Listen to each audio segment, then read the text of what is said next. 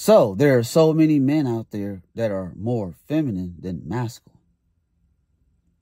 So it's to the point where a lot of men are lost in touch with their masculinity, but more in touch with their femininity.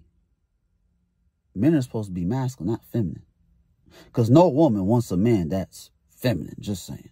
But I think the root cause of it, it's going to be interesting. What's up, YouTube? It's your boy James to the O. I think the main cause of it is because the boy growing up as a little boy into a, an adult, he was raised by a single mother.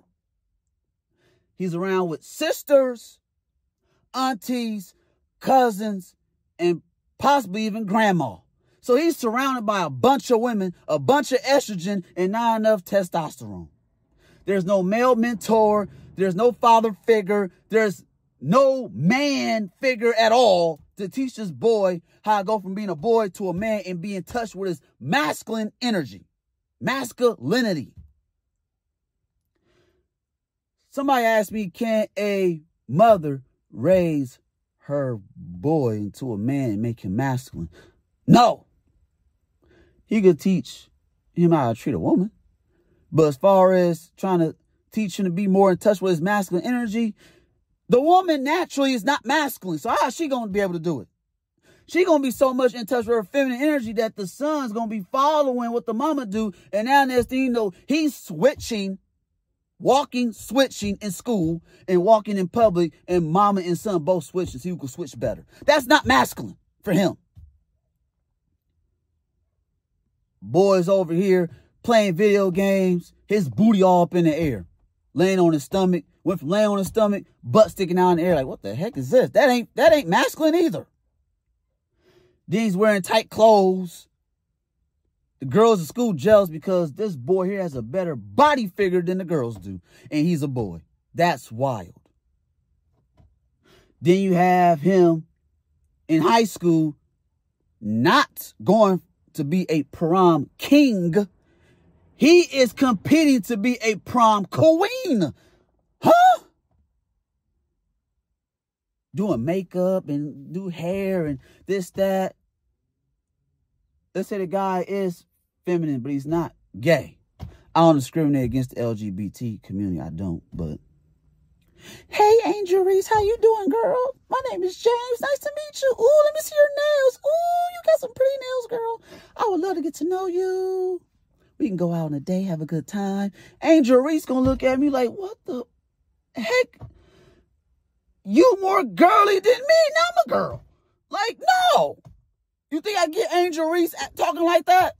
Acting like that? No. Can you imagine Angel Reese coming at me all masculine and manly and tough and hard? I was like, that's a turnoff. That's what it's like when a man is more feminine than his girl. Like, what? You ever seen couples and you see a man a woman, but the man is more in touch with his feminine side than the woman is, and she's supposed to be more feminine? That's crazy, right? But yeah, so it's like, how can a woman teach a man how to be more in touch with his masculine energy when she's been her feminine energy all her life? That's all she knows. Way more so than masculine energy. Then he is out here in the dating world, growing up. Now he's doing things and saying stuff that women say and women do. And the girl's like, uh, he acts more like a female than I do. And I'm a woman. Fellas, that's not a good look.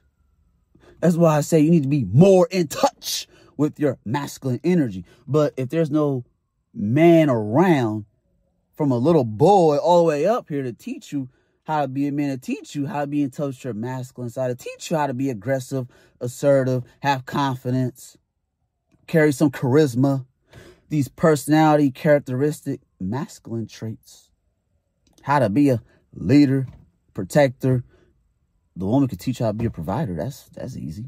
what about the other? Be dominant, be superior.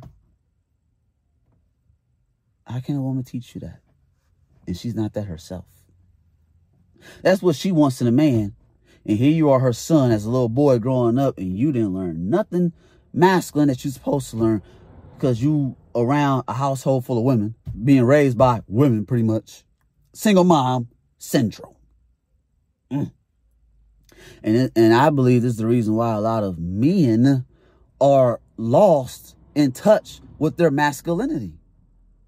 Like you more feminine than masculine, you a man? Come on. If I'm wrong, comment down below. I will be more than happy to read your comments. But I think that is the main cause of why men aren't so masculine.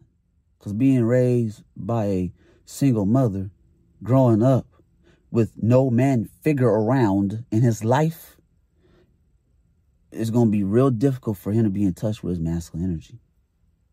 Tell me what you think. Comment down below. Like, comment, share, subscribe to this video, and tell me what you think.